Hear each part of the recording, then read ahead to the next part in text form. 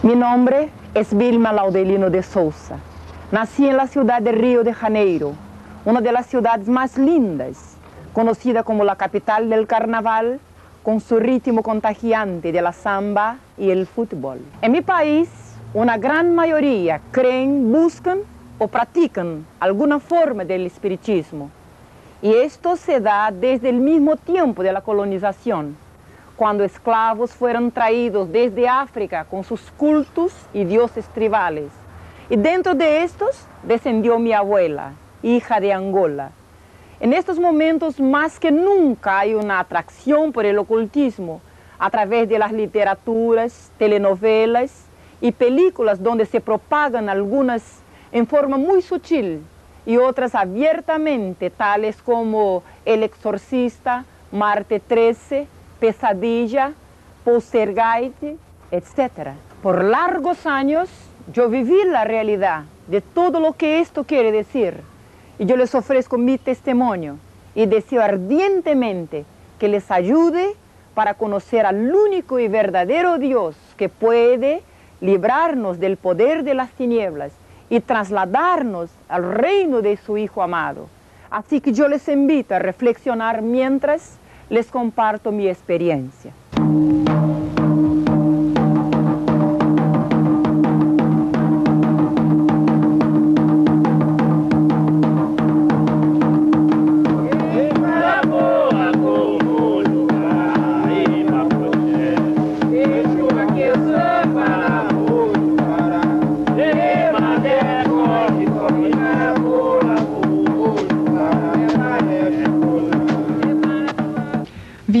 Usted es una persona muy conocida a nivel latinoamericano, ministrando el Evangelio a muchas personas importantes involucradas en la magia negra. ¿Cuáles fueron las circunstancias que la llevaron a dejar a la brujería y a buscar a Jesucristo? Todos los adoctrinamientos por los cuales yo tenía pasado a un largo de 22 años de una vida consagrada a los espíritus, a las sectas que se caracterizan en mi país, Brasil, y muchas que se denominan como tipo Umbanda, Candomblé, y he llegado a la cumbre que se llamaría Kimbanda, o sea, una ramificación de magia negra. En cierto momento en mis prácticas, habiendo tenido una experiencia agravante, yo me di cuenta que algo iba mal. Y a lo mejor te puedo decir que yo no busqué, yo fui buscada por Dios. Yo tengo entendido que desde antes de nacer y durante toda su infancia, su vida fue dedicada al ocultismo, la brujería y al espiritismo. Cierto, yo desciendo de africanos y desde mis ancestrales se practicaba la magia en mi familia. En el mismo momento de mi nacimiento, mi abuela, una señora bruja, me consagró a los espíritus, a los mismos que poseían a su cuerpo, ya que sabía que se acercaba el momento de su partida. Y desde mi llegada al mundo, yo fui entregada a ellos. ¿Cómo se explica lo que sucedió esa noche? Desde esta mañana, cuando me desperté al otro día, ya un sentimiento fuerte me dominaba, miedo un miedo horrible, la impresión que alguien me miraba de algún punto, alguien yo asustada. Siempre se caracteriza así esta posesión, por un miedo desenfrenado, inexplicable. Pero ahí había algo más raro aún en mi casa. No había nadie. Y yo corría por toda parte y buscaba a la mamá, mi hermana, cuando ahí estaba un perro, un policial negro. Y para mi sorpresa, se vuelve y se pone a conversar conmigo con voz audible y masculina. Fueron estos los primeros modos por lo cual el príncipe de tinieblas se va tomando una serie de factores para llegar finalmente a dominar total mi vida. ¿Ese fenómeno espiritista se repitió o hubieron otros? Yo pasé a ver cosas, escuchar barullos y puedo decir que he vivido como que protagonizando el papel principal de una película de, terror. Porque muchas veces me han preguntado cuáles fueron, y yo les digo que todos, de toda forma que usted puede imaginar, desde terror nocturno a visiones diárias, eu escutava passo, buja, voces e veia pessoas se materializavam como te estou vendo agora. Eu los veía sempre, nunca vi coisas com os ojos cerrados e principalmente nocturnamente hasta que chamou a atenção de minha família. E se começaram a me levar a pessoas que faziam trabalhos e arreglavam as questões. E a intenção era educar os espíritos, porque me pegavam forte, me davam, me tiravam o pelo, me echavam ao suelo de minha cama à noite e às vezes me golpeavam na cara. Eu sempre temblava, tinha muito medo. Eu tentava gritar, socorro, pero não saía a voz. Era como se estivesse em meio a um ataque de epilepsia. Eu queria gritar, pero não conseguia mover-me, meu corpo sempre enrijecido e eu totalmente impotente a toda manifestação que se dava. A los sete anos de idade, me levaram de volta a minha abuela, porque já nenhuma pessoa de baixa categoria poderia ajustar ou educar aquelas entidades. Assim que me acordo que uma noite me parece uma pesadilla quando me acordo daquela noite, quando me puseram um traje e adelante de um mantel lleno de sacrifícios. Os atabaques batiam e carcajadas e gritos estridentes de las entidades e a gente palmeando e bailando. E eu aí estava sendo confirmada como uma sucessora de minha abuela. Eu mirava minha mamá muito assustada e ela hacía que me quedasse calladita, porque todo era necessário a causa de meu futuro. A mim me diziam que eu fui predestinada para ser uma sacerdotisa. Bem temporariamente as coisas se atenuaram. Mientras eu servia agora, porque como tinha muito pouca idade, não poderia chegar ao grado maior. Então comecei em uma banda, uma ramificação mesclada com branco de espiritismo brasileiro, pero que em realidade esconde coisas muito fortes, muito dominadoras coisas que podem destruir eternamente uma pessoa. Aí se invocam espíritos de muertos, espíritos del aire, del cerro, de selva, del mar, pero por detrás de todos estes e em toda esta planificação, todas estas entidades, ou seja, espíritos que foram tomando o governo de meu corpo, se escondia uma sola pessoa. E esta eu la encontrei ao fim da caminhada. A los 13 anos de idade, eu cheguei a uma segunda secta que predomina em meu país, Candomblé. Esta hora está quase que mundialmente conhecida. Se trabalha muito com poderes psíquicos, governo de mente, com mensagens eh, eh, de extraterrestres. Se trabalha com controle de caráter, de personalidade, controle político, controle emocional, controle financeiro através de candomblé, quando eu cheguei aí, buscando uma resposta para meu problema, se deu algo estava um, um, um templo muito grande, um sacerdote. De espalda estava quando eu adentrei, buscando resposta, de novo lhe digo.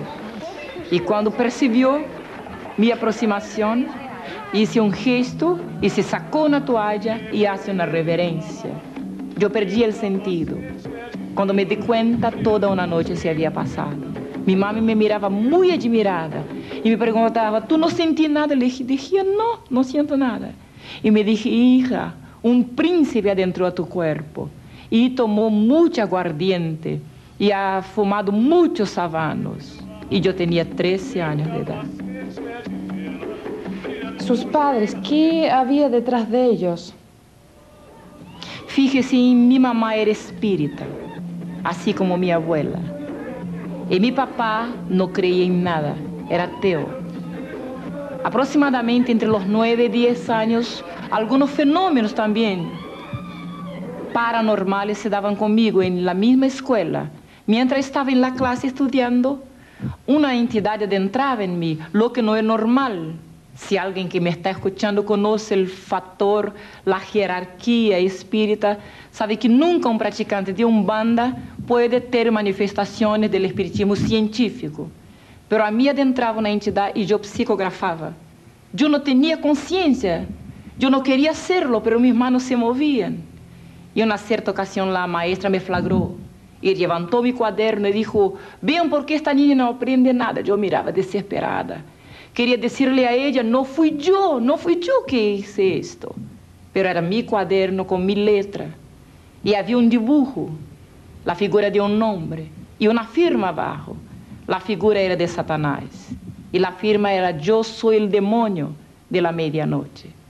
De ahí me encaminaron a una iglesia para un trabajo de exorcismo. Pero fue escuchando una clase de catecúmenos de esta iglesia que las cosas empeoraron. Cuando la joven decía sobre Dios, un Dios que había creado a todos, un Dios que estaba en los cielos, un Dios que amaba a gente buena. Y sabe que yo miré adentro de mí misma, aunque fuera bien niña, yo ya tenía una percepción muy profunda de muchas cosas, podría entender y escudriñaba siempre todo. Y mientras ella hablaba, yo miraba mi vida. Y le doy un perfil de mi infancia. Yo soy la cuarta hija negra. Soy hija de una mujer de descendencia europea, con hombre de descendencia africana. Yo fui la única que heredé todos los trazos característicos de negro. Así que nunca nadie ha creído que yo era hija de mi mamá. Yo sufrí en mi propia piel el choque de raza de cultura, de sociedad. Siempre la gente preguntaba, esta es su empleada. Mis hermanos a veces se burlaban de mí y decían, la mamá te encontró en la puerta, tú no eres hija de ella. Y esto se fue criando adentro de mí algunos sentimientos como recalque, rechazo. Me sentía un desajustada, un desequilibrio emocional. Yo me sentía menor, pensaba, ¿por qué soy diferente? No conseguía entender. Y a la idea que me enseñaron que Dios había creado todo no me gustó, porque pensaba, entonces Él me ha creado tan diferente. Yo nací en un barrio, elitizado de mi ciudad. Ahí estaba la gente de plata, la gente de cultura, la gente de la élite y la gente blanca. Y no todos me querían. A veces uno no puede imaginar el mal que hace mirando con poco casa a un niño, pero yo me daba cuenta que Quase nadie me queria. E quando oí falar sobre Deus, cheguei à casa e perguntei a meu papá: quem é Deus? Papá me contesta, golpeando a seu bolsillo: Deus, hija, é plata no bolsillo de quem lo tiene. La cosa se alargou por hartos anos. Eu de aí me acuerdo que despertei uma noite e aí estava em frente à porta um homem todo de negro. Y su sombra estaba en mi cuerpo. Y yo percibía que aquella sombra era como un cerro. Y yo podría ver su figura, pero nunca su cara. Una cierta noche yo tomé fuerza y pregunté, ¿quién es usted? Y del medio de aquella figura salió una voz de hombre, una voz medio ronca, y contesta, yo soy el diablo. E eu sempre perdi o sentido. Assim que desde que eu cheguei a Candomblé, novas huestes foram tomando controle de meu corpo. Porque todo não, não se empieza, nadie nasce bruxo. Se empieza tudo na trajetória. Alguns fatores circunstanciais, como você perguntou ao princípio, vão levando uno a golpear toda a porta onde se pueda educar aqueles espíritos para que se tornen buenos, para que haya justicia. Así que cuando me involucré con candomblé, nuevas jueces vinieron y de ahí yo me puse a presentar problemas morales, no solo psicológicos, pero problemas de comunicación. Un odio tremendo me nació contra mi familia, contra la misma sociedad. Yo me envolví con gente de la peor cualidad, con pandillas, en el tiempo de la juventud transviada, cuando la gente usaba olor, cuando la gente tomaba mucho. De alguna forma yo quería agredir a la sociedad, quería agredir a mi mami blanca, quería agredir a toda la gente. Y pensaba, algo me hacía sentir que iba un día de tener tanto poder en mi cuerpo que iba a destruir a todo el mundo. Entonces, en estos caminos, yo fui pasando por todo que se puede imaginar. Y al fondo yo pienso que buscaba una respuesta. Hasta que yo llegué, después de haberme comprometido mucho, de haber hecho mucha maldad, de haber estado trabajando para mucha gente, incluso gente importante en mi país.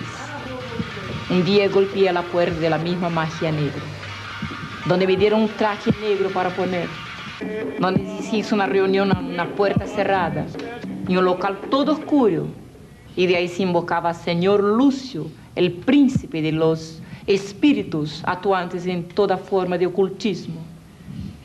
Fue una noche también rara en mi vida, porque como vidente que era yo, vuelvo a decirle que nunca vi ningún espíritu así de ojos cerrados, los veía como te estoy viendo, se materializaban muchas veces. Y cuando oigo una bulla afuera me vuelvo, así que todos estamos con la cara en tierra, delante de una vela negra y una roja. Ahí estaba una sesión se abriendo de magia negra. Cuando veo adentrar un hombre, y no tenía cacho ni cola, era muy bonito a la vista, pero su mirada cuando se ponía en mí, mi cuerpo se ponía como si tuviera un echaque, como si estuviera entorpecida, anestesiada. Y cuando me fijé, yo bajé mi cabeza, la adentro y se manifestó en la señora que jefeaba ahí, la bruja jefe y vino usando una corona de oro, una ropa negra, un puñal y un tridente. Usaba en sus manos. Y vino directo hacia mí me dije, tú, yo te escogí desde tu nacimiento. Y quiero que haya un pacto eterno conmigo. Entiendo que hay grados eh, en la magia negra. ¿A qué nivel llegó usted? Fíjese que el espiritismo tiene muchas escalas. Hay los que van por curiosidad hay los que llegan por necesidad. Y por ahí se empieza un comprometimiento con la entidad.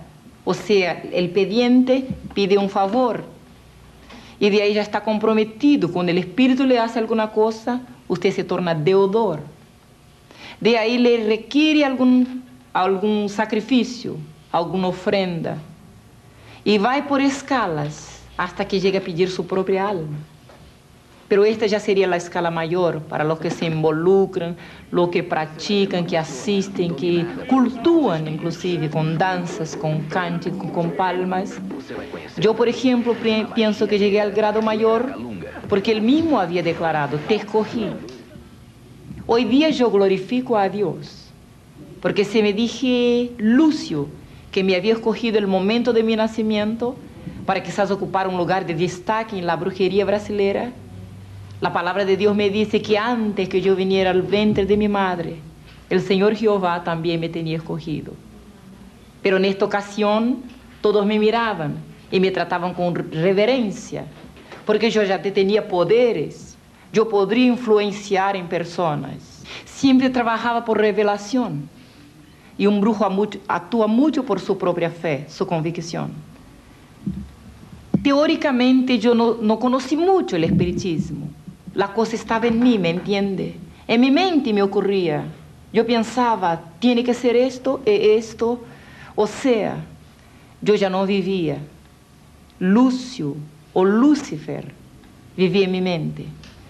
Entonces, se puede tocar una familia. Se puede cambiar un nombre en homosexual. Muchas veces lo he visto. Se puede destruir un hogar, un negocio, un gobierno. Se puede llevar uno al gobierno y se puede sacarlo también. Todo esto se hace en magia negra. A poco tiempo mi país fue avalado por un escándalo a nivel mundial, cuando se descubre que un presidente de república practica magia negra. Pero esto no es inédito.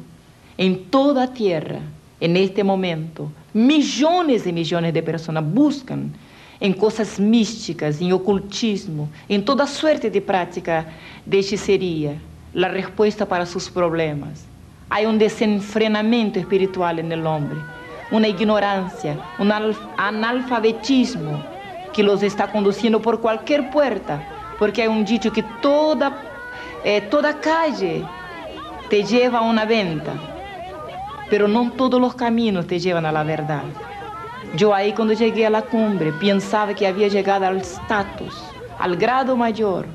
Yo estaba me preparando y me había hecho promesas de que ocuparía el grado de la sacerdotisa más grande del país. Y de ahí yo pasé a cuestionar el grado que yo ocupaba. ¿Por qué mi influencia siempre era negativa? Siempre yo podría herir a una persona, incluso a mi padre, a mi madre. Cuando me aburría la gente, yo los miraba solo. ¿Puede comprender a dónde llegué yo? Y yo con mi mente le daba una orden.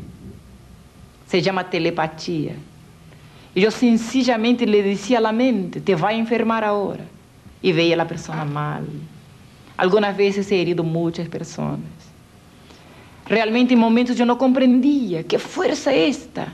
Algunas veces mi madre me decía, tú te parecías al diablo. Y reía yo en la cara de ella. Y yo decía, no hay diablo, no existe diablo. Porque me puede creer que un practicante de estas cosas no tiene un conocimiento real y verdadero de quién es el espíritu mayor con quien está lidando. O sea, yo lo consideraba un justicero, un amigo, una persona que me hacía favores y que me golpeaba y que me castigaba porque era mi dueño, mi señor, detenía poderes sobre mí, pero también con quien yo podría buscar favores espirituales y a través de quien yo podría recibir favores. Y o sea, tener dominio sobre ciertas situaciones. Ahí en Magia Negra, gente muy importante, artistas, políticos, gente famosa nos buscaba. Algunos que hoy día tienen renombre, son muy conocidos. Infelizmente, fueron buscar la transitoriedad de la gloria, de la fama, de todo que detiene ahora en la tierra, a los pies de Lucius, el príncipe de los demonios que está ahí en Brasil. ¿Había en algún momento una motivación lucrativa detrás de estas prácticas? Sin duda es muy cara la parte sacrificial de magia. O sea, una misma consulta que se hace a un brujo para que se invoque una entidad más fuerte como esta que trabajábamos, esto sale carísimo. Y no cualquiera puede pagar el precio. Y claro que el brujo recibe su parte, recibe mucho, pero puede imaginar un saquetel sin hondo, así que se recibe mucho hoy día y mañana ya no se tiene nada.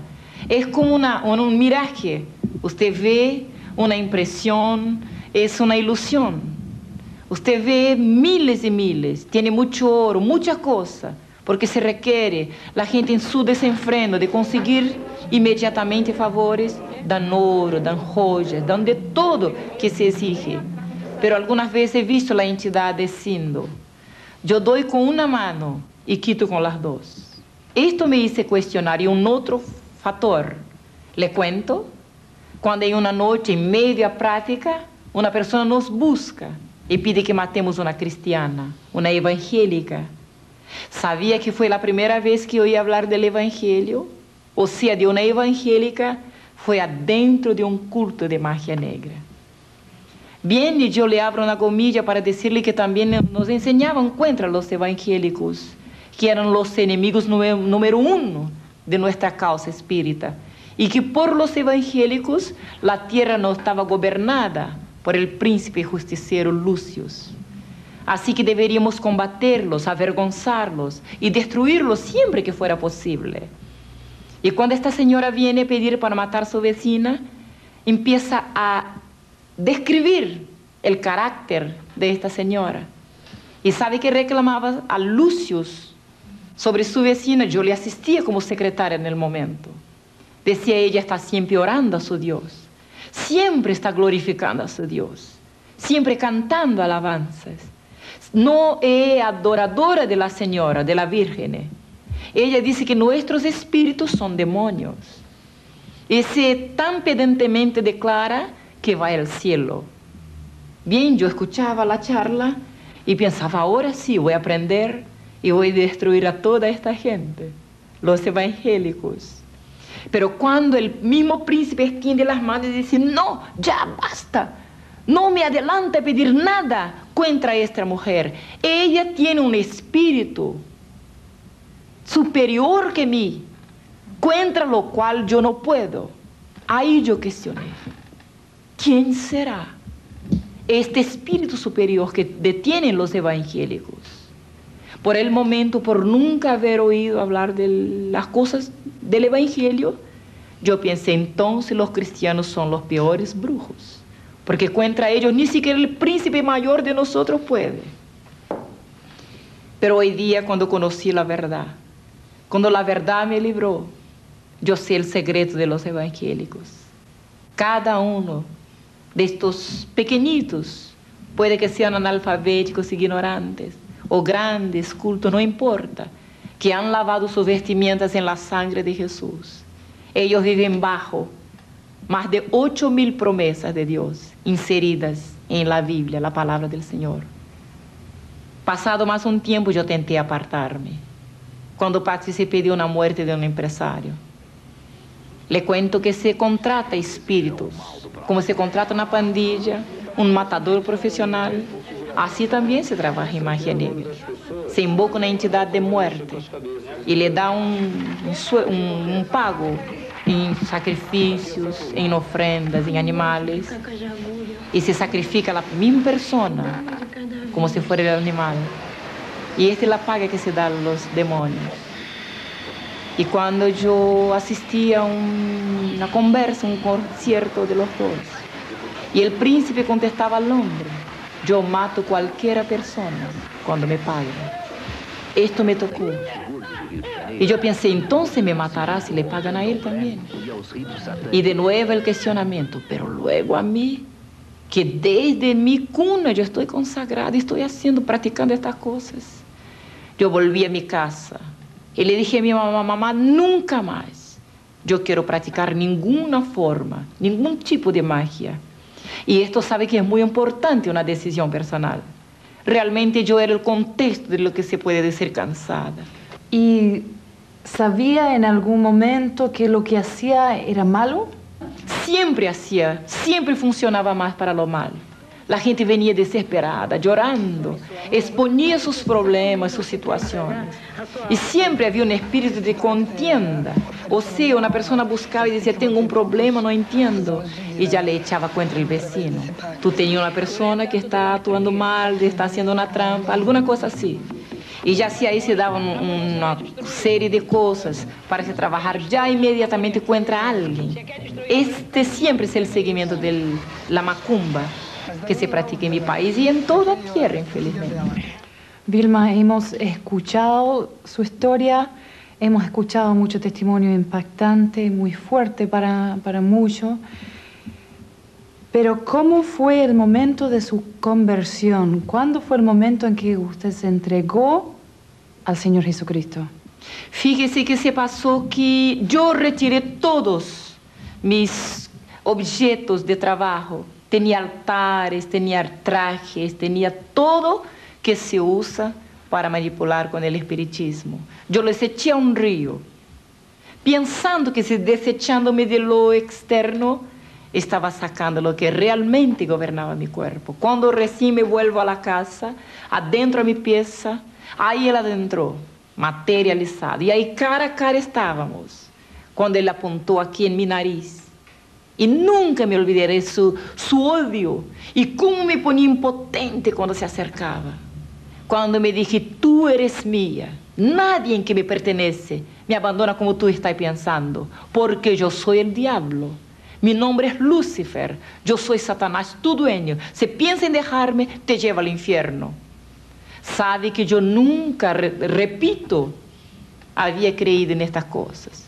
Pensaba que murió, acabó, o a lo mejor como muchas veces la ciencia muestra que hay ahí uno va a estar volando o descansando o en un local cualquier o simplemente terminó la reencarnación que parte de la doctrina espírita murió y otro tiempo vuelve reencarna en otra cosa para pagar sus pecados o un poco de doctrina católica murió va al purgatorio y de ahí paga un tiempo. Pero cuando se presentó y habló directamente así cara a cara de infierno Aún así yo tenté contradecirle, enfrentarme con él. Me sentía muy poderosa.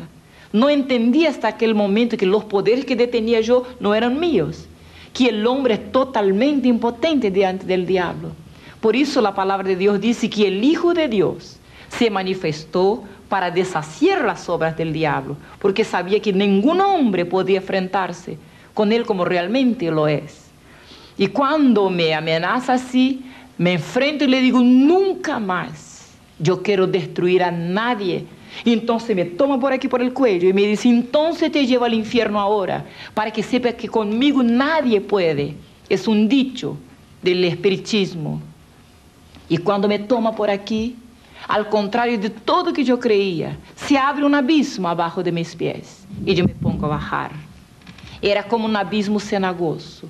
Todas las tinieblas que usted ya vio, todo blackout que ya vio en su vida, no se parece con el terrible abismo que espera un hombre que se pasa la eternidad sin nunca haber conocido a verdad. Sabe que yo me fui bajando, yo tentaba sostenerme y él me llevaba por aquí. Así es la muerte, pienso yo, de un brujo, de toda gente que vive su vida engañada, sirviendo a los demonios. Porque recientemente había me dado cuenta que todas las entidades, espíritus, orixás, caboclos, guías, así se denominan en mi país, el nombre, así se, se mezclan, se, se adornan. Esta es su forma de engañar en mi país. Se autodenominan entidades, espíritus justicieros. Pero ahora, en fin de mi camino, de mi trayectoria, estaba delante del diablo. Él se declaraba mi dueño. Un cierto momento se paró y dijo, allá está su cuerpo. Yo miré y he visto mi cuerpo muerto arriba de una cama. En este instante, un nombre brotó en mi mente, una fracción de segundo. Y yo pensé, sé, existe un Dios mayor que Lucifer. Se me salva ahora, voy a ser esclava de todo el tiempo de mi vida. Y en aquel momento, por primera vez, yo he visto cuando se abrieron los cielos cuando vino algo como un rayo de luz, algo glorioso cayó sobre mí. Lucifer me suelta y cae de espalda en el suelo. Porque la palabra de Dios que dice, clama a mí y yo te responderé. Yo nunca había oído este mensaje, pero cuánto no me estarán escuchando ahora y quizás necesitando tanto de clamar a alguien que le responda y que le libere. Ahí estaba se manifestando en mi vida por primera vez el grande poder de Dios. Yo he visto Lucifer por tierra. Para mí era un rey, era un señor. Pero ahora recién me daba cuenta, como preguntó al principio, que había una diferencia, que dos fuerzas, dos gobiernos, o lo mejor dos príncipes, luchaban por el control de mi vida. Y cuando vino la luz del alto, cuando vino la verdad, la verdad me liberó. Desde aquella experiencia, yo pude comprender que dos fuerzas existían y luchaban de forma totalmente opuesta por gobernar mi vida. Y así que yo conocí que había una fuerza arriba en los cielos. Y de ahí pasé a vivir segundo los costumbres que me habían enseñado en la religión. Pero se dio una cosa. Aquele príncipe que não desiste de nin, nenhuma maneira de destruir vidas, me declarou guerra. Ou seja, demanda espiritual me declarou. E por esta demanda, sete dias depois, eu perdi uma guagua. Eu la tinha consagrada a um príncipe que se chama em Brasil Diemanjá. Seria cognominada a reina del mar pero en realidad es un demonio terrible. Y así que cuando Lucifer me declara guerra, siete días después, Yemanjá mata a mi guaguita con un año. Me acuerdo que los médicos preguntaban, ¿qué se pasó, mamá, con esta niña que no tiene nada y se muere? Yo no podría contestar a él, que ahí estaba recibiendo el sueldo de 22 años de vida consagrada a las tinieblas, a toda suerte de ocultismo, de hechicería, de espiritismo. Bien, luego cada semana un golpe nuevo contra mi familia. Hasta que una noche llegando a la casa había una noticia. Mi mamá estaba tuberculosa en último grado. Fue llevada a una posta. De ahí yo momentáneamente vacilé. Adentré a mi pieza y realmente yo pensaba, ¿quién nació para esto no puede salir? Porque ahí está la ley del espiritismo. Y yo lo invoqué. Cuando vino él materializado de nuevo, me dije, yo te llamé a un pacto y tú no lo hiciste. Ahora yo no quiero pacto contigo, quiero tu sangre, quiero tu vida y quiero tu alma. Así que le pregunté, pero mi mamá no tiene nada que ver con mis asuntos. Y él dije, voy a destruir toda tu familia y después te llevo conmigo porque tú eres mía. Bien, y cuando yo le pedí una cosa que hoy día yo digo que él nunca tiene de sus esclavos, es misericordia, me dije, fíjese la vida de ella por la tuya, suba arriba de un puente, se echa abajo de un tren. 15 días después estaba todo listo en una noche, con plata para mi enterro en sobre y carta de despedida. Al otro día, cuando fuera saliendo por la mañana a trabajar, como si fuera a esperar el tren en la estación, me echaría de un viaducto a frente del tren y de ahí quizás librase el alma de mi mamá, entre comillas, porque hoy día sé que el diablo nunca habla la verdad, es el padre de mentira. Así que en aquella noche me acosté y así como sería la última noche de mi vida, no quería dormir. No sé cómo se sentirán miles de personas que me escuchen ahora, con ganas de morirse, de autodestruirse. Pero yo le digo que terrible, no hay palabras para decir la última noche de un suicida. Yo quería reportar mi vida, hacer un retrospecto. Y ahí en la oscuridad de mi pieza estaba pensando, ¿para qué será que yo nací? La vida es muy insípida, muy insólita, no tiene razón. ¿Será que el hombre nace solo para morir y irse al infierno? Y un cuestionamiento sin fin yo me llevaba hasta que llega la madrugada. Bien, los brujos llaman la hora grande. Pero hoy día yo puedo decir que era la hora de Dios para mi vida. Repentinamente del alto, una voz me hace una pregunta. ¿Y si yo le decir que Dios existe? Fíjese que Dios tuvo primero que me desenseñar la enseñanza de la infancia de mi padre. Y cuando aquella voz me preguntaba así, yo reaccioné con violencia. Ahí estaba delante de mí toda mi vida, mi sufrimiento, el rechazo, todas las cosas. Y yo, aburrida, contestaba, no, no, no existe Dios. Pero por segunda vez la voz me preguntaba, ¿y si yo le digo que existe un Dios todopoderoso? Esto fue impactante para mí, totalmente inédito. Yo conocía muchos dioses, muchos príncipes, entidades, pero un Dios todopoderoso. Así que a esta idea yo tuve miedo, porque todos mis pecados se pusieron a desfilar en frente a mí me parecía que me acusaba, entonces me dio un miedo y yo pensé, si hay un Dios todopoderoso, no debe gustar gente de mi tipo, de mi categoría. Y para defenderme inmediatamente yo reaccioné, pero también no me gusta de él. Así que por tercera vez una voz dulce, suave, me pregunta de nuevo, y si yo le decir que hay un Dios todopoderoso y Él te ama, así como tú eres, yo reaccioné. Puse las manos aquí, empecé a llorar y yo lloraba y lloraba y al fin mi alma gemía. Yo pensaba, qué bueno si hubiera un Dios que amase a mí con todo este error, con todo esto pasado, con toda esta basura. Y mientras yo lloraba, una luz fuerte, fuerte adentro de mis ojos, yo saqué las manos y ahí al frente de mí estaba algo inédito. Yo conocía miles de príncipes. De nuevo, les voy a decir, siempre fui evidente en mi vida. Siempre tuve conexión con el mundo espiritual. Conocía muchas cosas, pero nunca aquella luz. Y yo quería fijarme, pero ella me ciegaba. Y cuando me paré para ir en dirección de aquella luz, que yo no comprendía aún quién era que estaba ahí, entonces veí cuando mis manos, mi cuerpo empezó a dar vueltas y cuando yo caí de espalda para el frente, y los demonios a su turno iban adentrando en mi cuerpo. Yo estaba muy admirada porque podría verme en el suelo y recién, mientras escuchaban los demonios diciendo garabatos, blasfemias, insultos y se rascuñaba como una culebra yo por el suelo, yo comprendí recién que estaba poseída por un espíritu enemigo daquele supuesto de luz que estava se acercando de mim. E aí em meu pensamento me puse a chorar. E aún assim reaccionei como uma bruja. Eu chorava e dizia: Fíjese Deus, tu eres injusto, tu eres malo, ¿Por qué tú permitiste que yo viniera al mundo para hacer tanta maldad y ahora recibir en mi propio cuerpo el pago de esta maldad? Y para mí me parecía, no podría mirarlo un segundo, me parecía que estaba me mirando, serio.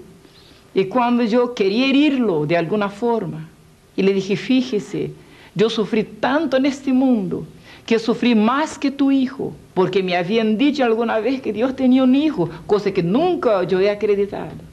Cuando hablé así, sentí, no pudo ver que reaccionó, y sentí cuando me levantaron del suelo y fui siendo llevada por el aire y me pusieron parada en un local y yo abrí los ojos. Miré alrededor y ahí he visto la escena que cambió todo el futuro eterno de mi alma. Miles de personas ahí estaban en una plaza grande. Veía un predio al fondo las columnas, veía la multitud gritando y yo pensaba, qué raro, ¿qué estoy yo haciendo acá? Porque los trajes de las mujeres, todo costumbre, como si fuera una otra época. Yo veía que la gente gritaba y algo se pasaba ahí en aquel predio y fui abriendo camino ante toda aquella gente para ver qué se pasaba ahí adelante.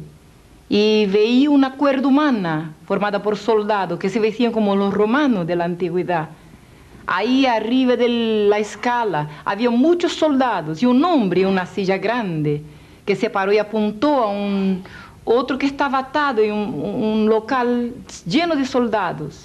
A un poste estaba atado. Y cuando preguntó, ¿qué haré de Jesús de Nazaret? Me impactó mucho este nombre, porque yo conocía varios Cristos, como el Cristo de Plaga, el Jesús de Bonfim, Conocía muchos, Oxalá era una ramificación que se llamaba el Dios, pero nunca había oído este nombre Jesús de Nazaret. Y cuando el hombre apuntó a la columna y preguntaba así, la gente se puso a gritar rabiosa, crucifica, crucifica, y yo los miraba. Inconscientemente me paré las manos y me puse a gritar y me dio una rabia, un odio, yo me puse a gritar, pero de repente pensé, ¿qué estoy yo haciendo acá? ¿Qué tengo yo que ver con este hombre? Y me volví hacia atrás a ver más quién ahí estaba. Y he visto una cena que nunca más me olvidaré.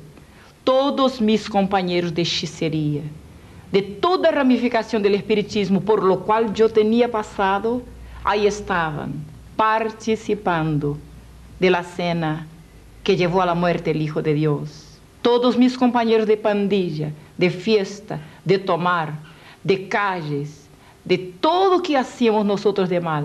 Todos gritábamos. Y había más gente de todo tipo, toda clase, categoría intelectual, social, y todos gritaban con odio. Y yo me devolví de nuevo y pensaba, ¿qué tengo yo que ver con esta cena? En realidad yo nunca imaginé que también a causa de mis pecados fui participante de la muerte del Hijo de Dios. Yo también fui culpable. Pero cuando el hombre lavaba sus manos y entregaba aquel reo a aquellos soldados que ahí estaban, le cuento como yo he visto, y lo llevaron a un patio ahí interno del mismo local. Y veí cuando le quitaron la ropa hasta la cintura y lo ataron de espalda, como se hacían con los esclavos antiguamente, a una columna, la gente a la rueda, y yo mirando cuando un soldado saca un azote y empieza a dar vueltas en el aire y yo me fijaba, y qué raro, y la gente palmeaba, reía y gritaba. Pero aquel azote no era una arma normal, tenía un cable, varias puntas de cuero, y en la punta de cada punta un pedacito de hierro más o menos así. Y cuando aquella cosa daba vueltas en el aire y golpeaba, aquella espalda sensiblemente se abría y rascuñaba aquellas carnes. Molía aquel hombre. La gente palmeaba, reía y el azote daba vueltas. Era como un maestro en lidar con aquella cosa. El hombre le jogaba, aquel cuerpo temblaba. Y yo miraba y pensaba, ¿cómo puede? ¿Cómo puede una escena de tanta cobardía? Miles, hombres fuertes, soldados contra uno, que se parecía tan indefenso en el momento. Y yo miraba y pensaba, ¿por qué no se defiende? ¿Por qué no dice nada?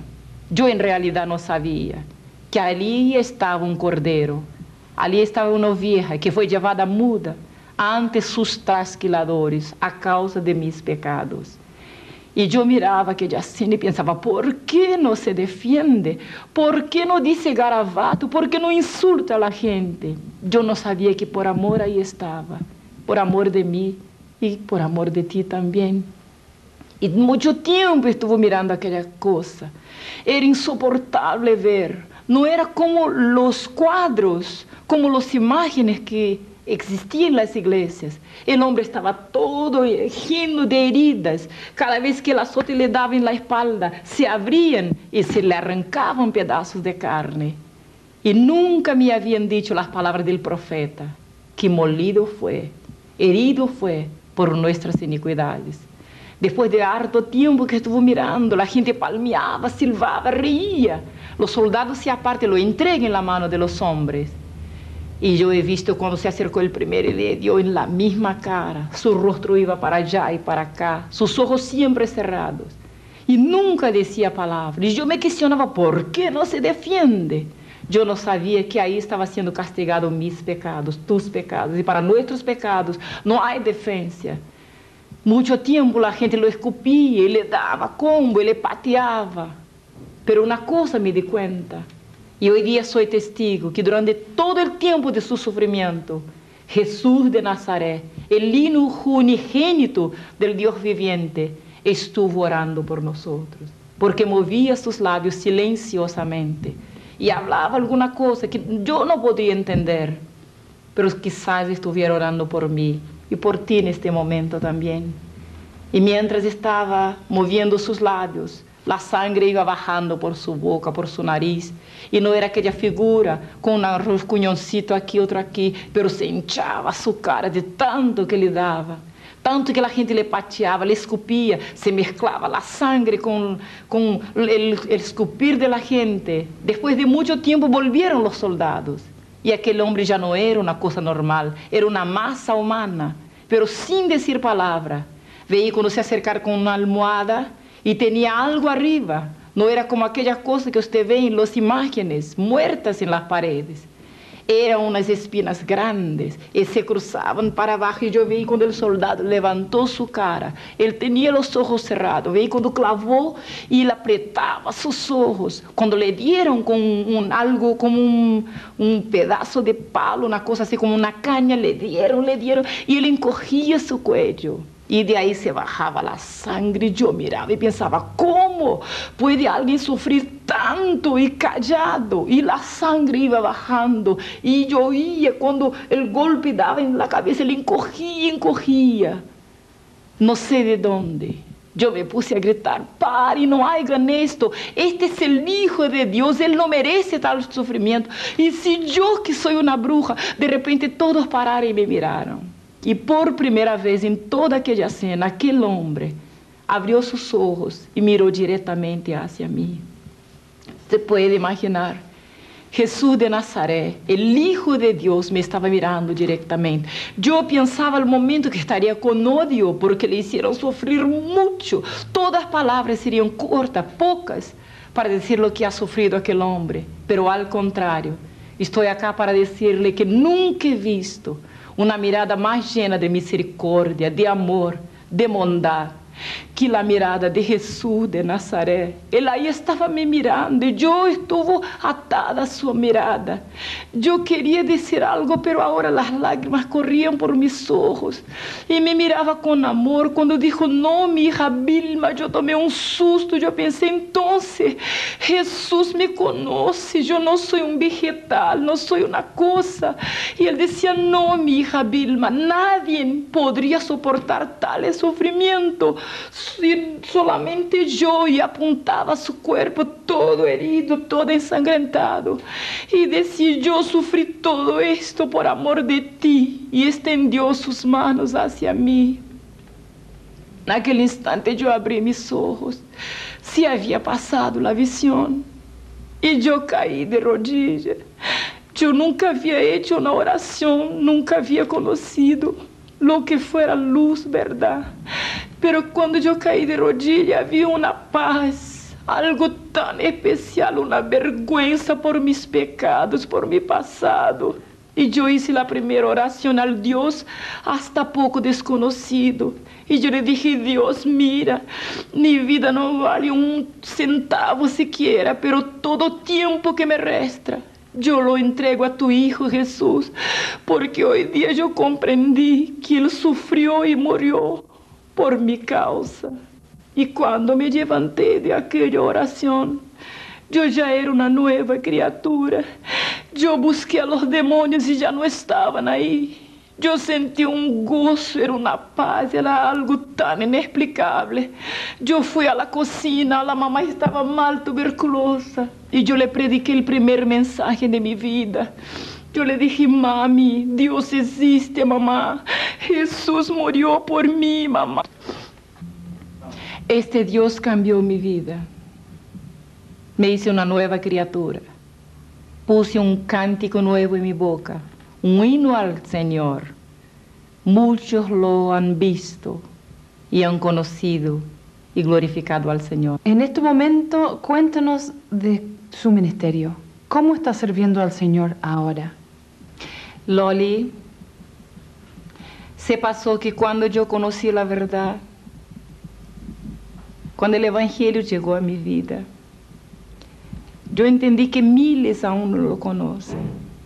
O a lo mejor conoce superficialmente, como yo en mi infancia. Saben de un Dios que está arriba y que no se importa con nadie. Un Dios que no tiene tiempo para la gente. Y quizás cuántos le odian como yo por no conocerlo personalmente, por no saber que es tan amoroso y que de tal manera nos ha amado, que envió su único Hijo, llegando a las últimas consecuencias de este amor por nosotros. Y cuando veía a la gente en la calle, me daba cuenta que necesitaban que alguien le dijera algo. Y pienso que el mismo Espíritu de Dios ha propuesto en mi corazón. Yo dediqué toda mi vida.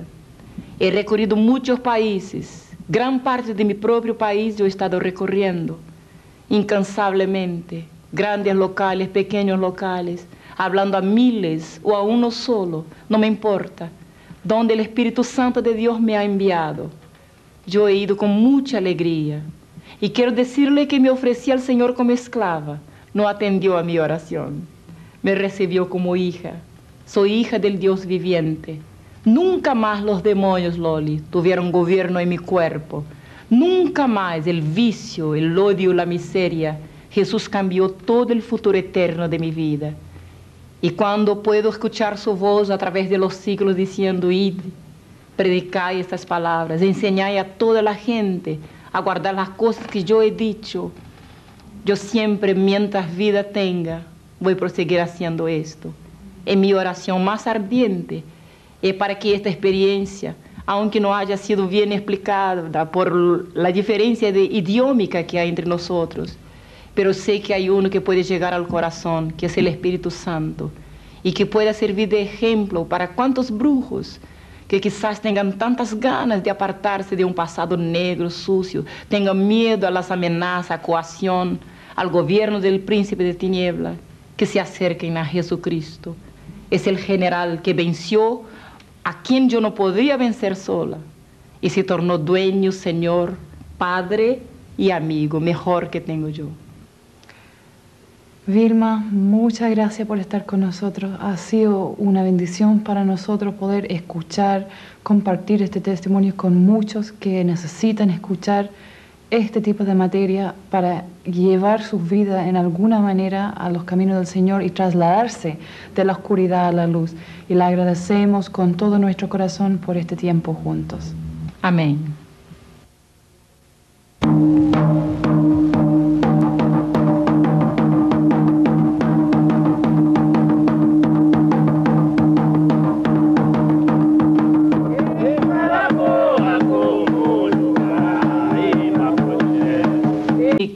Principalmente nocturnamente, hasta que llamó a atención de mi familia. Y se empezaron a me llevar a personas que hacían trabajos y arreglaban las cuestiones. Y la intención era educar los espíritus, porque me pegaban fuerte, me daban, me tiraban el pelo, me echaban al suelo de mi cama anoche y a veces me golpeaban en la cara. Yo siempre temblaba, tenía mucho miedo. Yo tentaba gritar, socorro, pero no salía la voz. Era como si tuviera en medio un achaque de epilepsia. Yo quería gritar, pero no conseguía moverme, mi cuerpo siempre enrijecido y yo totalmente impotente a toda manifestación que se daba. A los siete años de edad, me llevaron de vuelta a mi abuela, porque ya ninguna persona de baja categoría podría ajustar o educar aquellas entidades. Así que me acuerdo que en una noche, me parece una pesadilla cuando me acuerdo de aquella noche, cuando me pusieron traje y adelante de un mantel lleno de sacrificios. Los atabaques batían y carcajadas y gritos estridentes de las entidades y la gente palmeando y bailando. Y yo ahí estaba siendo confirmada como una sucesora de mi abuela. Yo miraba a mi mamá muy asustada y ella hacía que me quedase calladita porque todo era necesario a causa de mi futuro. A mí me decían que yo fui predestinada para ser una sacerdotisa. Bien temporariamente las cosas se atenuaron. Mientras yo servía ahora, porque como tenía mucho poca edad, no podría llegar al grado mayor. Entonces empecé en un banda, una ramificación mezclada con blanco de espiritismo brasileiro, pero que en realidad esconde cosas muy fuertes, muy dominadoras cosas que pueden destruir eternamente una persona. Ahí se invocan espíritus de muertos, espíritus del aire, del cerro, de selva, del mar, pero por detrás de todos estes y en toda esta planificación, todas estas entidades, o sea, espíritus que fueron tomando gobierno de mi cuerpo, se escondía una sola persona. Y esta yo la encontré al fin de la caminada. A los 13 años de edad, eu cheguei a uma segunda secta que predomina em meu país, Candomblé. Esta hora está quase que mundialmente conhecida. Se trabalha muito com poderes psíquicos, governo de mente, com mensagens eh, eh, de extraterrestres. Se trabalha com controle de caráter, de personalidade, controle político, controle emocional, controle financeiro a través de candomblé, cuando yo llegué ahí buscando una respuesta para mi problema, se dio algo rarísimo. Ahí estaba un, templo muy grande, un sacerdote. De espalda estaba cuando yo adentré buscando respuesta, de nuevo le digo. Y cuando percibió mi aproximación, hice un gesto y se sacó una toalla y hace una reverencia. Yo perdí el sentido. Cuando me di cuenta, toda una noche se había pasado. Mi mamá me miraba muy admirada y me preguntaba, ¿tú no sentí nada? Le dije, no, no siento nada.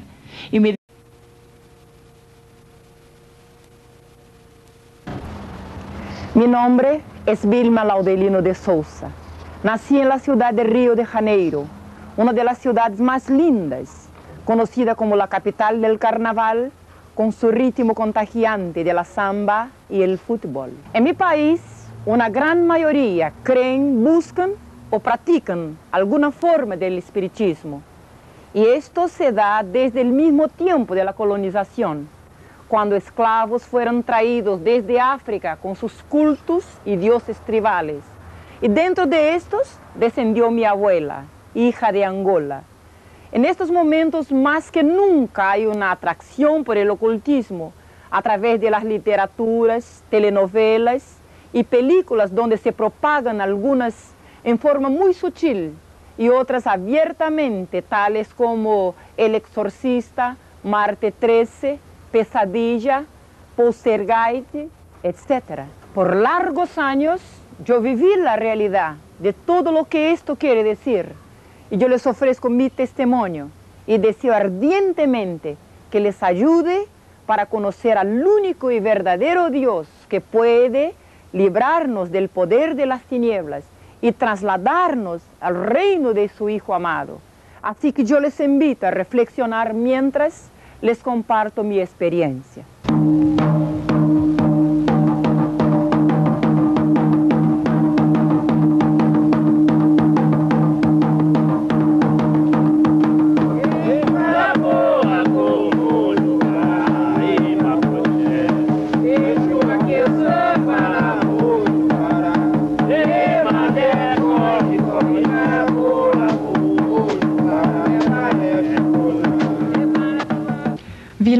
Usted es una persona muy conocida a nivel latinoamericano, ministrando el Evangelio a muchas personas importantes involucradas en la magia negra.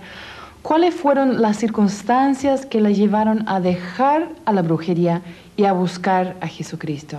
Todos los adoctrinamientos por los cuales yo tenía pasado a un largo de 22 años de una vida consagrada a los espíritus, a las sectas que se caracterizan en mi país, Brasil, y muchas que se denominan como tipo Umbanda, Candomblé, y he llegado a la cumbre que se llamaría Kimbanda, o sea, una ramificación de magia negra.